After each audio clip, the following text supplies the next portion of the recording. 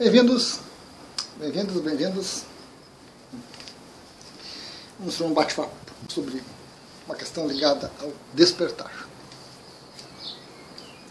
É muito comum, quando as pessoas se deparam com alguns vídeos meus, é, expressarem descontentamento, uma certa raiva, é, uma discordância muito grande às vezes.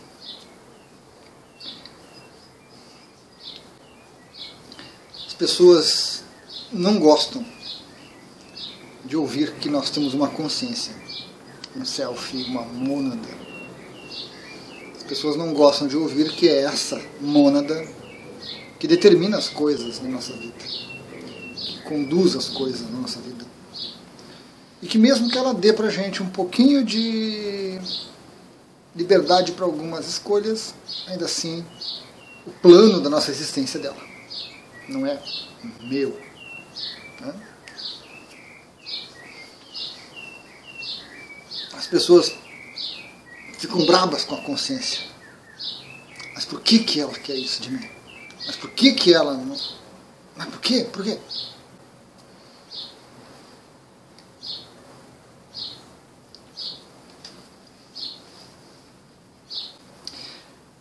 Todas essas palavras, todos esses depoimentos, né? Todos esses pensamentos que as pessoas às vezes expressam, às vezes não expressam, eles derivam da mente, da nossa mente.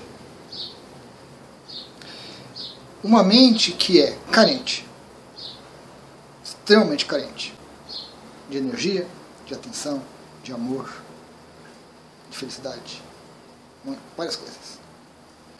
Uma mente que é totalmente indisciplinada, que se acostumou a fazer o que quer, na hora que quer, reclamar, reclamar, reclamar, ficar no jogo do IC, IC, IC. Uma mente que não tem limites.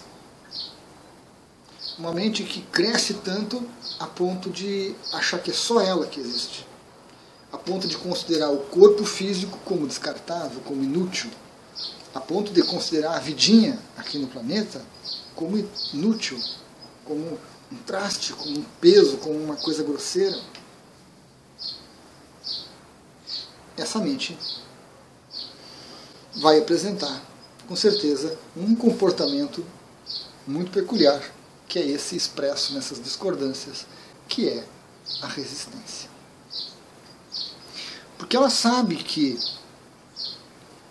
quando nós transcendemos a mente, quando nós transcendemos o ego, nós não vamos destruir nenhum dos dois. Mas quando nós transcendemos, quando nós vamos além, a mente sabe que ela perde importância. A mente tem que se colocar no lugar dela. E aí ela vai resistir. Ela vai resistir. Tem um vídeo da Ayahuasca que eu comento isso, né? Tem uma música muito legal, que a mente quer ser a última a acordar, a última a dormir e a primeira a acordar. Mais ou menos isso. A mente está, ela assume tudo. Ela assume toda a existência. Mas a mente é aquela criança birrenta. Né? Birra na criança, aquela criança que quando você não dá o que ela quer, ela cai no chão, chora, grita, esperneia, saem lágrimas, aí você dá o brinquedinho, você dá o docinho, ela sai comendo, sai feliz da vida e para totalmente. Então, a mente é uma criança birrenta. A nossa mente humana hoje, 2018, é uma criança birrenta. Nossa estrutura psíquica está se formando ainda. E é uma criança que briga quando lhe tiram os doces. É uma criança que esperneia, que grita, né? Que transfere.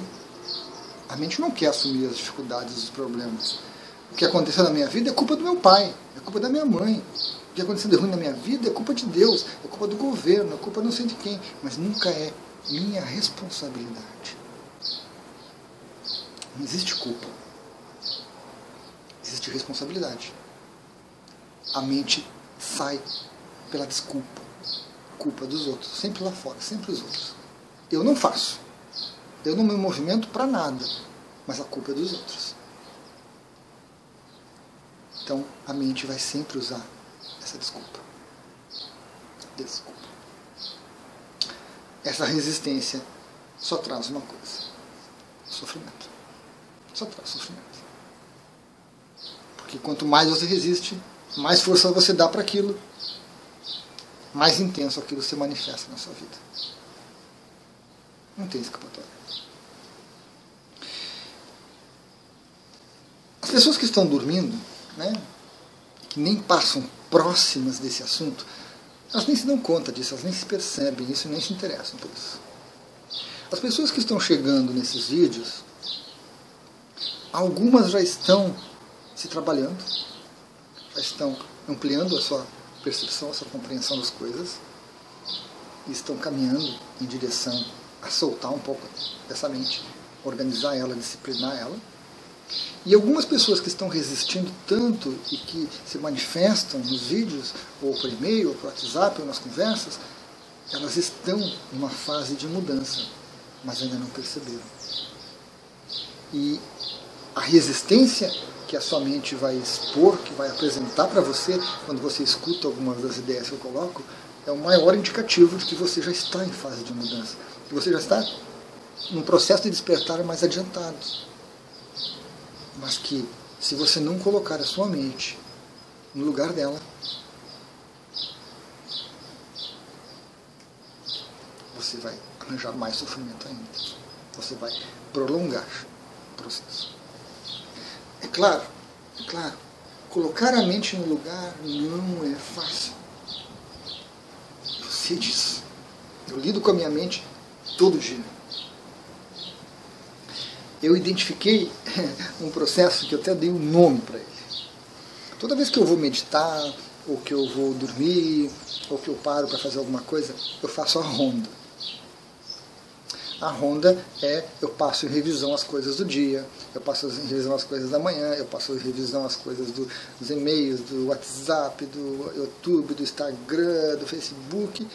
Só depois que eu faço a ronda, que a minha mente percorre todos esses aspectos, é que aí eu, eu consigo parar para fazer meditação, ou eu consigo dormir às vezes. Eu já identifiquei isso há um bom tempo, não é de agora. Mas eu ainda brigo com isso, porque quando eu paro, minha mente começa. E eu digo, chega, calma, não vou fazer a ronda hoje. Ou às vezes eu deixo ela fazer, tá, legal, completou, então pronto. Mas é uma uma coisa constante, um trabalho constante, uma dedicação constante, um estado de atenção constante. Porque a sua mente vai resistir. É natural da mente, é por isso que ela está aí. Ela quer se manter fazendo as coisas e sendo a dona das coisas. Ela não vai abdicar isso tão facilmente. Você ensinou ela a ser assim.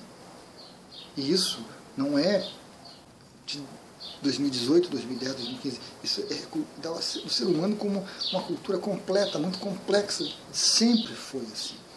O desenvolvimento desse nosso estado psíquico leva para isso. E aí, como eu disse, somos crianças berrentas, cheias de manhas, cheias de artifícios, né? para poder escapar, para poder escapar, para poder escapar, para se manter controle. Então, é um processo de cada um disciplinar a sua mente. Não brigando com ela, mas gerenciando ela. Concedendo algumas coisas. Deixa a mente fazer a ronda. Dois, três minutos, ela fez a ronda toda e pronto. Ela está satisfeita, está feliz. E aí você consegue fazer alguma coisa mais do que isso. Você não fica pensando, pensando, pensando o tempo todo. Você consegue ir para uma prática meditativa. Gerencie aos poucos. Porque, ao mesmo tempo, a mente é muito inteligente, é muito capaz. E ela vai chegar um momento que ela vai perceber que o que você quer, como essência, como ser mais completo, muito mais completo do que apenas uma mente, é seguir por esse caminho. Então ela vai acabar cedendo e ela vai começar a auxiliar processo. Ele não vai ser mais um inimigo a ser vencido. Porque não vai adiantar se você entrar nessa batalha. Então cada um precisa cuidar da sua mente, cuidar de si mesmo. Uma das ferramentas assim que eu considero primordiais para esse processo está nos vídeos que eu falo visão de consciência e visão de mente. Nós precisamos adotar uma visão de consciência que é uma visão mais ampla, que é uma visão mais aberta, que é uma visão mais compassiva, e deixar de lado essa visão de mente, cheia de preconceitos, cheia de ideias preconcebidas, cheia de manias, cheia de birras. Porque à medida que a gente vai ampliando essa visão de consciência, a gente vai trazendo mais energia, a gente vai despertando mais, a gente vai tendo mais condições, mais lucidez para lidar com essa mente tão indisciplinada, tão resistente. Observe Observe como a sua mente resiste. Conceitos novos, ideias novas. Observe como ela se agarra nas coisas.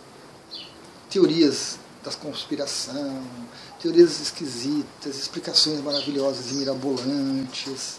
Perceba como ela faz isso. E deixe isso de lado. Isso só serve para gastar energia.